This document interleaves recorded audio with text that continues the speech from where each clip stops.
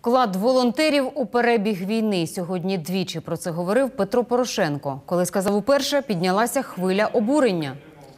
Я хочу подякувати волонтерам, які в перші часи, дні місяці війни, коли було найважче, віддавали останнє. І без цього внеску ми б все рівно перемогли. Але було б набагато важче. Якби були розгрузки, якби були Ці слова пролунали під час виступу в будинку офіцерів з нагоди 24-ї річниці збройних сил України. Волонтерські організації образились, тому надвечір президент попросив вибачення за невдалу фразу. Для того, щоб припинити будь-які інсинуації.